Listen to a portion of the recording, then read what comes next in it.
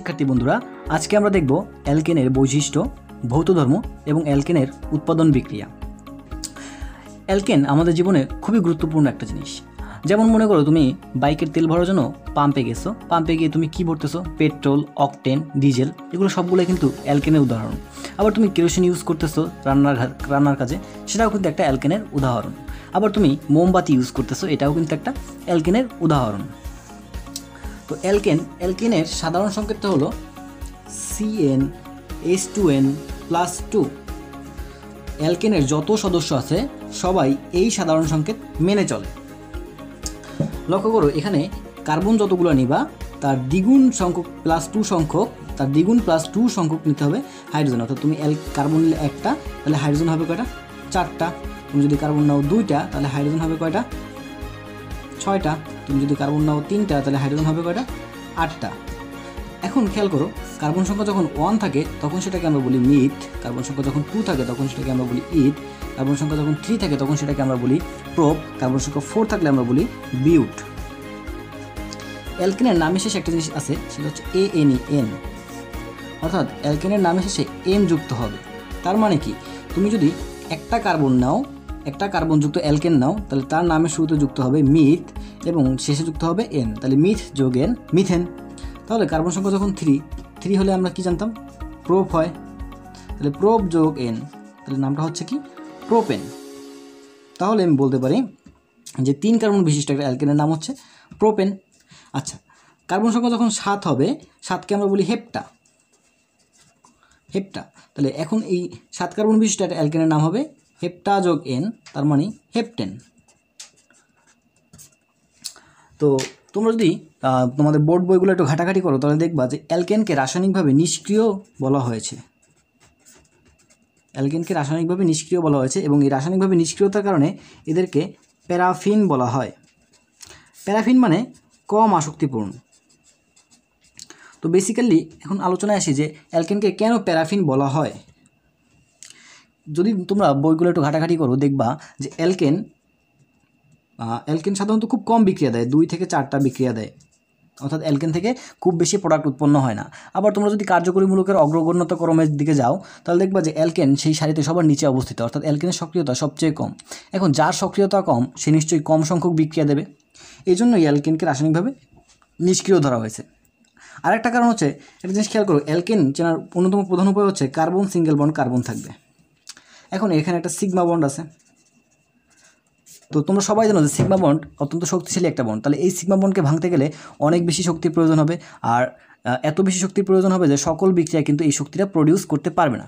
তার ফলে ওই বিক্রিয়াটা হবে না। এই কারণেই অ্যালকেন কম সংখ্যক বিক্রিয়া দেয় আর এই কম সংখ্যক বিক্রিয়া দেওয়ার কারণেই আমরা অ্যালকেনকে রাসায়নিকভাবে নিষ্ক্রিয় বলে থাকি। তো এখন আমরা বেসিক্যালি অ্যালকেনের কিছু ভৌত ধর্ম দেখব। খেয়াল করো কার্বন সংখ্যা যখন এক থেকে কার্বন সংখ্যা চার হয় তখন ওই অ্যালকেনগুলো সাধারণ, সাধারণভাবে গ্যাসীয় হয়। কার্বন সংখ্যা যখন পাঁচ থেকে কার্বন সংখ্যা বারো হয়, তখন ওই অ্যালকেনগুলো সাধারণভাবে তরল হয় এবং কার্বন সংখ্যা যখন বারো এর চেয়ে বেশি হবে, তখন সেই অ্যালকেনগুলো কঠিন হবে। তার মানে আমি বলতে পারি, কার্বন সংখ্যা যত বৃদ্ধি পাবে, কার্বন সংখ্যা যত বৃদ্ধি পাবে, তত অ্যালকেনের কাঠিন্যতা বৃদ্ধি পাবে। তো এই যখন কাঠিন্যতা বৃদ্ধি পাবে, ওই অ্যালকেনগুলোকে বলা হয় উচ্চতর অ্যালকেন। লক্ষ্য করো বন্ধুরা এখন আমরা দেখব অ্যালকেন উৎপাদনের বিক্রিয়া। অ্যালকেন উৎপাদনের দুটি বিখ্যাত বিক্রিয়া আছে, একটা হচ্ছে উডস রিয়াকশন আর একটা হচ্ছে ডিকার্বক্সিলেশন রিয়াকশন তো আমরা প্রথমে উডস রিয়াকশনটা দেখব এবং এই উডস রিয়াকশনটা কিন্তু খুবই গুরুত্বপূর্ণ একটা বিক্রিয়া, যেটা বোর্ড বই বোর্ড পরীক্ষাতে অনেকবার এসে- এসেছে। তো তোমরা সবাই জানো যে একটা বিক্রিয়াতে ফার্স্ট অফ অল রিয়াক্ট্যান্ট লাগে এবং কিছু প্রোডাক্ট পাওয়া যায়। তো আমাদের যেহেতু এটা অ্যালকেন প্রস্তুতির বিক্রিয়া, তার মানে সবাই তোমরা বুঝতে পারতেছো যে উডস রিয়াকশনে অ্যালকেন পাওয়া যাবে। তাহলে এই বিক্রিয়াতে রিয়াক্ট্যান্ট কারা? দেখো, লক্ষ্য করো, এই বিক্রিয়াতে রিয়াক্ট্যান্ট হলো অ্যালকাইল হ্যালাইড এবং ধাতব সোডিয়াম অ্যালকাইল এবং ধাতব সোডিয়াম এই বিক্রিয়াতে প্রভাবক হিসেবে কাজ করে শুষ্ক ইথার। তার মানে তুমি যখন অ্যালকাইল হ্যালাইড এবং ধাতব সোডিয়ামকে শুষ্ক ইথারের প্রভাবে বিক্রিয়া ঘটাবা, তখন উৎপন্ন হবে অ্যালকেন আরেকটা কথা বলতে চাই, অ্যালকেনের সাধারণ সংকেত আমরা দেখছি কি? C N S two N plus two এটা দেখেছি। আবার অ্যালকেনের সাধারণ সংকেত এভাবেও লেখা হয় আর সিঙ্গেল বন্ড আর অথবা আর সিঙ্গেল বন্ড এইচ এই তিনটাই কিন্তু অ্যালকেনের সাধারণ সংকেত। লক্ষ্য করো আর সিঙ্গেল বন্ড এক্স তার সঙ্গে যদি আমরা একটা সোডিয়াম যুক্ত করি, ধাতব সোডিয়াম তাহলে সোডিয়ামটা এই যে হ্যালাইট মূলকটা আছে, এই হ্যালাইট মূলকটাকে নিয়ে একটা যৌগ গঠন করবে, সেটা হচ্ছে সোডিয়াম হ্যালাইট আর তাহলে বাকি থাকল কে? আর সিঙ্গেল বন্ড এবং শুধুমাত্র একটা আর দ্বারা কিন্তু অ্যালকেন হয় না। তাহলে একটা অ্যালকেন গঠন করতে গেলে আমাদেরকে আরও একটা আর দরকার। তাহলে বলতে পারি এখানে আমাদের দুই মূলও দুই মোল অ্যালকাল হাইড দরকার। তাহলে এখানে উৎপন্ন হচ্ছে? আর সিঙ্গেল বন্ড আর তাহলে আমরা যদি বিক্রিয়াটা সমতা করতে চাই তাহলে এখানে লাগবে দুই মোল সোডিয়াম এবং এখানে উৎপন্ন হয়? দুই মোল সোডিয়াম হ্যালাইট তাহলে আলটিমেটলি এখন যদি আমরা এটা আমাদের এই যে বিক্রিয়াটা ছিল, এই বিক্রিয়াটা হচ্ছে আমাদের মডেল বিক্রিয়া। এখন যদি আমরা আলটিমেটলি একটা বিক্রিয়া দেখি, ধরে নিই আমরা একটা অ্যালকাইল হাইড হচ্ছে সিএইচ থ্রি আই অর্থাৎ মিথাইল আয়োডাইড তার সঙ্গে যুক্ত করতেছি আমরা দুই অণু, বা দুই মোল সোডিয়াম ধাতব সোডিয়াম তাহলে উৎপন্ন হবে সোডিয়াম আয়োডাইড কারণ এই সোডিয়াম এই আয়োডাইডকে নেবে। এবং এখানে আমাদের কয় মোল অ্যালকাইল হাইড দরকার ছিল? দুই মোল। তাহলে এখানে আমরা টু দিলাম। আমরা টু দিলে এখানে উৎপন্ন হচ্ছে C H three single bond C H three অর্থাৎ আমরা দুই কার্বন বিশিষ্ট ইথেন দুই কার্বন বিশিষ্ট একটা অ্যালকেন পাচ্ছি যার নাম ইথেন।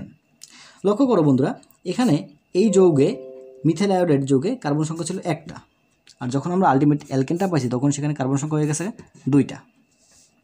আমরা যদি তিন কার্বন বিশিষ্ট একটা অ্যালকাইল হাইড নিই, ধরো C three H seven I propyl iodide তার সঙ্গে আমরা অণু ধাতব সোডিয়াম যুক্ত করি, তাহলে উৎপন্ন হবে sodium iodide plus C six H fourteen খেয়াল করো যে এখানে ছিল তিন কার্বন বিশিষ্ট একটা অ্যালকাইল হ্যালাইড, আর আমাদের এখানে উৎপন্ন হয়ে গেল ছয় কার্বন বিশিষ্ট অ্যালকেন, যার নাম আমরা বলব হেক্সেন। তাহলে আমরা বলতে পারি, আমরা যদি বিক্রিয়কে জোর বা বিজোর যে কার্বন সংখ্যকযুক্ত অ্যালকাইল হ্যালাইড নিই না কেন, আমাদের উৎপাদে সবসময় জোর কার্বনযুক্ত অ্যালকেন উৎপন্ন হবে। এখন অনেকেই কোশ্চেন করতে পারো, ভাইয়া, তাহলে বিজোর কার্বনযুক্ত অ্যালকেন উৎপন্ন করা কি সম্ভব না উদ্বিক্রিয়ার মাধ্যমে? অবশ্যই সম্ভব। বিজোর কার্বনযুক্ত অ্যালকেন উৎপন্ন করা উদ্বিক্রিয়ার মাধ্যমে অবশ্যই সম্ভব। এবার আমরা দেখব কীভাবে বিজোর কার্বনযুক্ত অ্যালকেন উৎপন্ন করতে হয়। তো ফার্স্ট অফ অল আমরা একটা মডেল বিক্রিয়া নিয়ে লিখব। আর সিঙ্গেল বন্ড এক্স একটা অ্যালকাইল হ্যালাইড নিলাম। তার সঙ্গে আমরা একটা ধাতব সোডিয়াম যুক্ত করব এবং এবার নিলাম আমরা R prime single bond X তো যখন আমরা এই যে আর সিঙ্গেল বন্ড এক্স নিছি, মনে করি এই অ্যালকাইল হ্যালাইডে জোর কার্বনযুক্ত অ্যালকেন আছে, আর এখানে আমাদের বিজোর কার্বনযুক্ত অ্যালকে কার্বনযুক্ত একটা অ্যালকাইল হ্যালাইড আছে। সাপোজ এটা হতে পারে তোমার C H three C H two I আর এটা হচ্ছে আমাদের সিএইচ থ্রি আই অর্থাৎ এখানে কার্বন আছে দুইটা, এখানে কার্বন আছে একটা। তাহলে একটা হচ্ছে আমাদের জোর কার্বনযুক্ত অ্যালকাইল হ্যালাইড আর একটা হচ্ছে আমাদের বিজোর কার্বনযুক্ত অ্যালকাইল হ্যালাইড ওকে সো যখন আলটিমেটলি রিয়াকশনটা হবে, তখন খেয়াল করো সোডিয়াম কিন্তু সবসময় এই হ্যালাইড মৌলগুলোর সাথে বিক্রিয়া করে সোডিয়াম হ্যালাইড উৎপন্ন করবে। এবং বাকি থাকবে কি?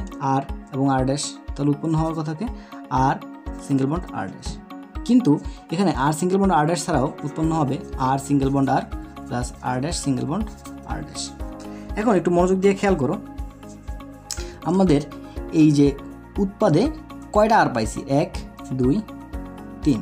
তিনটা আর পাইছি। তাহলে এখানে আমাদের সামনে একটা থ্রি আসে। আমরা উৎপাদে কয়টা আর ড্যাশ পাইছি? এক, দুই, তিন। তিনটা আর ড্যাশ তাহলে এখানে সামনে একটা থ্রি আসে। সো আলটিমেট তাহলে সোডিয়াম কয়টা দরকার হয়? ছয়টা সোডিয়ামের দরকার হয়। তাহলে এখানে যুক্ত হবে কত?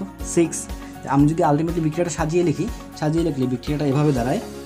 Three R single bond X plus three R dash single bond X plus six N A বিক্রিয়া করে উৎপন্ন করবে six N A X plus R single bond R dash plus R single bond R plus R dash single bond R dash এখন একটু মনোযোগ দিয়ে খেয়াল করো যে আমাদের এই আরটা ছিল জোর কার্বনযুক্ত এবং এই আর ড্যাশটা ছিল বিজোর কার্বনযুক্ত এখন এখানে খেয়াল করো, জোর জোর যুক্ত হয়ে কিন্তু জোর কার্বনযুক্তই অ্যালকেন উৎপন্ন হবে, আর বিজোর বিজোর যুক্ত হলেও কিন্তু জোর কার্বন সংখ্যক অ্যালকেন উৎপন্ন হবে। কিন্তু আমরা যদি জোর সংখ্যা আর বিজোর সংখ্যা যুক্ত করি, তাহলে ধরো দুই এবং পাঁচ যোগ করলাম। দুই এবং পাঁচ যুক্ত করলে আমাদের অ্যান্সার হয় সেভেন তাহলে এই যে R single bond R dash এই যে যৌগটা পাবো এই যৌগটাই হবে আমাদের বিজোর কার্বনযুক্ত অ্যালকেন এবার আমরা একটা রিয়াকশন দেখি। আমরা C H three C H two I এর সঙ্গে আমরা যুক্ত করলাম সিএইচ থ্রি আই এবং প্রভাব বিক্রিয়ক হিসেবে দিলাম সোডিয়াম প্রভাবক হিসেবে আমাদের আছে কি? শুষ্ক, ইথার। আরেকটা কথা মনে রাখবা, এই সকল বিক্রিয়া, যত যত উর্স বিক্রিয়া আছে, সব উর্স বিক্রিয়া কিন্তু কক্ষ তাপমাত্রায় ঘটবে, অর্থাৎ পঁচিশ ডিগ্রি সেলসিয়াস তাপমাত্রায়। তাহলে, এই যে সূত্র, এই সূত্র অনুসারে, এই সূত্র অনুসারে আমরা এখানে একটা সামনে থ্রি বসাইতে পারি, এখানে একটা থ্রি বসাইতে পারি, এবং এখানে একটা সিক্স বসাইতে পারি। তাহলে আলটিমেটলি এখানে কী উৎপন্ন হতো? সয়ানো সোডিয়াম হ্যালাইট তাহলে আমরা এখানে লিখতে পারি six N I plus R single bond R dash R single bond R dash তো এখন আমরা মনে করো যে এটাকে আমরা আর ধরলাম আর এটাকে আমরা আর ড্যাশ ধরে নিলাম। তাহলে আর সিঙ্গেল বন্ড অর্থাৎ C H three single bond C H two C H three plus এবার কী হবে? R single bond R dash তাহলে R single bond R dash মানে কি? C H three single bond C H three plus এবার কী আছে? R dash single bond R dash তার মানে C H three C H two C H two C H three প্রিয় শিক্ষার্থী বন্ধুরা, এবার আমরা দেখব ডি কার্বোক্সিলেশন রিয়াকশন তো ডি কার্বোক্সিলেশন রিয়াকশন বোঝার আগে আমাদের ডি কার্বোক্সিলেশন অর্থটা বুঝতে হবে। খেয়াল করো ডি কার্বো এক্সিলেশন ওয়ার্ডটাকে যদি আমরা একটু ভাঙানোর চেষ্টা করি, তাহলে আমরা কি পাচ্ছি? De plus carbo plus xylation de মানে হচ্ছে নাই কার্বো মানে হচ্ছে কার্বন তার মানে কার্বন নাই কি থেকে নাই এক্সিলেশন এক্সিলেশন ওয়ার্ডটা আসছে এক্সিলিক অ্যাসিড থেকে। আর আমরা, আমি আশা করি তোমরা সবাই কার্বক্সিলিক অ্যাসিডের নাম শুনেছো। তার মানে এই বিক্রিয়াতে কী হবে? কার্বক্সিলিক অ্যাসিড থেকে কার্বন থাকবে না। থাকবে না মানে কি? কার্বন একটা অপসারিত হয়ে চলে যাবে। তো বিক্রিয়াটা ঘটানোর জন্য আমাদের রিয়াক্ট্যান্ট বা বিক্রিয়ক হিসেবে দরকার হবে কার্বক্সিলিক অ্যাসিড যেটাকে আমরা আর সি ডাবল এস লিখে থাকি। লাগবে সোডিয়াম এবং সোডিয়াম হাইড্রোক্সাইড। আমাদের প্রভাবক হিসেবে দরকার হবে ক্যালসিয়াম অক্সাইড। বেসিক্যালি এই বিক্রিয়াতে এই সোডিয়াম হাইড্রোক্সাইড এবং ক্যালসিয়াম অক্সাইড একত্রে ইউজ করা হয়। সোডিয়াম হাইড্রোক্সাইড এবং ক্যালসিয়াম অক্সাইড একত্রে একে বলা হয় সোডা লাইম। তো এখন অনেকের মনে কোশ্চেন আসতে পারে যে, ভাই, এখানে ক্যালসিয়াম অক্সাইড কেন ইউজ করা হবে? দেখো, ক্যালসিয়াম অক্সাইড একটা ডেসিকেটিং পদার্থ। আর ডেসিকেটিং পদার্থগুলো ব্যবহার করা হয় রাসায়নিক দ্রব্যকে শুষ্ক রাখতে। তো এখানে সোডিয়াম হাইড্রোক্সাইড যাতে পানি দ্বারা লঘু না হয়ে যায়, এই কারণে ক্যালসিয়াম অক্সাইড ইউজ করা হয়, যাতে সোডিয়াম হাইড্রোক্সাইডের ঘনমাত্রাটা অপরিবর্তিত থাকে। আর তোমরা সবাই জানো সোডিয়াম হাইড্রোক্সাইড একটা সেকেন্ডারি পদার্থ, আর সেকেন্ডারি পদার্থগুলোর ঘনমাত্রা কন্টিনিউসলি কিন্তু চেঞ্জ হয় পরিবেশের সাথে সাথে, তাপমাত্রার সাথে সাথে বা বায়ুর আর্দ্রতার সঙ্গে সঙ্গে কিন্তু চেঞ্জ হয়। এই জন্য এখানে ক্যালসিয়াম অক্সাইড ইউজ করা হয়। তো ফার্স্ট অফ অল বিক্রিয়াতে কী করবে? আমরা একটা কার্বক্সিলিক অ্যাসিডের নাম আর সি ডাবল এস তার সঙ্গে যুক্ত করব সোডিয়াম, ফলে উৎপন্ন হবে R C double N A plus half H two পরবর্তীতে এই আর সি ডাবল এন এর সঙ্গে যুক্ত হবে সোডিয়াম হাইড্রোক্সাইড এবং প্রভাবক হিসেবে থাকবে ক্যালসিয়াম অক্সাইড ফলে এখন খেয়াল করো যে এখান থেকে কি হবে? এই যে সি ডাবল এন এ এবং এই যে সোডিয়াম অক্সাইড এইটুকু অংশ বিক্রিয়া করে উৎপন্ন করবে N A two C O three plus এখন দেখো তো এইখানে আর বাকি থাকল কি? আর এবং এইচ তাহলে এবং আর এই এবং এইচ মিলে উৎপন্ন করবে আর সিঙ্গেল বন্ড এইচ তাহলে আলটিমেটলি কী উৎপন্ন হচ্ছে? অ্যালকেন আর আমি একটু আগে বলছি যে অ্যালকেনের সাধারণ সংকেতের ভিতর কিন্তু আর সিঙ্গেল বন্ড এইচ একটা সাধারণ সংকেত। কী কী সাধারণ সংকেত ছিল? C N H two N plus two R single bond H আর হচ্ছে আর সিঙ্গেল বন্ড আর তাহলে আমি আলটিমেটলি ডিকার্বোক্সিলেশন বিক্রিয়ার মাধ্যমে কী পাচ্ছি? অ্যালকেন পাচ্ছি। এবার আমরা একটা এক্সাম্পল দেখব। আমরা একটা যে কোনো অ্যাসিড ধরলাম। ধরলাম যে C H three C double H তার সঙ্গে আমরা ফার্স্ট অফ অল যুক্ত করলাম সোডিয়াম তাহলে এই সোডিয়াম কী করবে? এই হাইড্রোজেনকে প্রতিস্থাপন করবে। প্রতিস্থাপন করে উৎপন্ন করবে C H three C double N A plus hydrogen এবার C H three C double N A অর্থাৎ এই যে সোডিয়াম লবণ, এই যে কার্বক্সিলিক অ্যাসিডের সোডিয়াম লবণ তার সঙ্গে আমরা যুক্ত করব সোডিয়াম হাইড্রোক্সাইড প্রভাবক হিসাবে আছে, ক্যালসিয়াম অক্সাইড। এখন তোমাদের সবার মনে আছে যে এই যে সি ডাবল এন এ এবং এন ও এই অংশটুকু বিক্রিয়া করবে। এই অংশটুকু বিক্রিয়া করে উৎপন্ন করবে সোডিয়াম কার্বনেট। তোমরা সবাই মনে রাখবে ডি কার্বোক্সিলেশন বিক্রিয়াতে অবশ্যই অবশ্যই সোডিয়াম কার্বনেট লবণ উৎপন্ন হবে। এখন দেখো যে বাকি থাকল কে? সিএইচ থ্রি এবং এইচ তাহলে সিএইচ থ্রি এবং এইচ বিক্রিয়া করে আলটিমেটলি কী উৎপন্ন করবে? সিএইচ ফোর তাহলে এই সিএইচ ফোরটা কি? এই সিএস ফোরটা হচ্ছে একটা অ্যালকেন যার নাম আমরা বলি মিথেন তাহলে আমাদের একটা জিনিস খেয়াল করতো এই CH three C double H এখানে কী ছিল? এটা আসলে একটা দুই অনু দুই কার্বন বিশিষ্ট একটা কার্বক্সিলিক অ্যাসিড ছিল। তো দুই কার্বন বিশিষ্ট কার্বক্সিলিক অ্যাসিডকে আমরা কী বলি? অ্যাসিডিক অ্যাসিড এখানে কার্বন সংখ্যা ছিল দুইটা। বাট আমাদের আলটিমেট যৌগে কার্বন সংখ্যা আছে কয়টা? একটা। সো আমাদের কার্বন সংখ্যা নিশ্চয়ই হ্রাস পেয়েছে। তাহলে ডিকার্বক্সিলেশন বিক্রিয়া হচ্ছে কার্বন সংখ্যা হ্রাস করার বিক্রিয়া। আর একটু আগে আমরা যেটা শিখলাম উডস বিক্রিয়া। উডস বিক্রিয়া হচ্ছে কার্বন সংখ্যা বৃদ্ধি করার বিক্রিয়া। উডস বিক্রিয়ার মাধ্যমে উচ্চতর অ্যালকেন পাওয়া যায় আর ডিকার্বক্সিলেশন বিক্রিয়ার মাধ্যমে নিম্ন কার্বনযুক্ত অ্যালকেন পাওয়া যায়। তো তোমাদের সকলের উদ্দেশ্যে এখন আমার একটা কোশ্চেন যে এইচ সি ডাবল এইচ অর্থাৎ মিথানোইক অ্যাসিড বা ফর্মিক অ্যাসিড ডিকার্বো ডিকার্বক্সিলেশন বিক্রিয়া দেবে কি না তো তোমরা সবাই ভিডিওটা পুশ করে বিক্রিয়াটা খাতায় করা শুরু করো। এখন আমরা দেখব ফর্মিক অ্যাসিড আসলে ডিকার্বক্সিলেশন বিক্রিয়া দেয় কি না খেয়াল করো এইচ সি ডাবল এইচ তার সঙ্গে আমরা যুক্ত করলাম সোডিয়াম। সোডিয়াম স্বাভাবিকভাবে এই হাইড্রোজেনটাকে প্রতিস্থাপন করবে। প্রতিস্থাপন করে উৎপন্ন করবে H C N A plus H two H C N A এর সঙ্গে আমরা যুক্ত করব N A O H so N এও যদি যুক্ত করি, তাহলে এই এইটুকু অংশ আমাদের বিক্রিয়া করবে। বিক্রিয়া করলে আলটিমেটলি উৎপন্ন হয় N two CO three plus শুধুমাত্র দুইটা হাইড্রোজেন থাকে। অর্থাৎ শুধুমাত্র দুইটা হাইড্রোজেন উৎপন্ন হয়। কিন্তু শুধুমাত্র দুইটা হাইড্রোজেন দ্বারা তো কোনো অ্যালকেন সম্ভব না।